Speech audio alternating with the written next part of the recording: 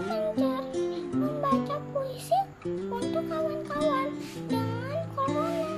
Aku bacakan ya teman-teman. Corona, gimana engkau lawanmu aku? Jika kau mau, aku akan selalu menjaga tubuhku. Aku akan mencuci tangan, berolahraga, berolahraga, memakan makanan yang bergizi, dan aku akan beristirahat yang tepat teratur. Corona, engkau tidak akan bisa menyerang lagi karena aku menjaga tubuhku dengan teratur. Terima kasih ya Allah, aku dilindungimu dari makhluk-makhluk yang jahat itu.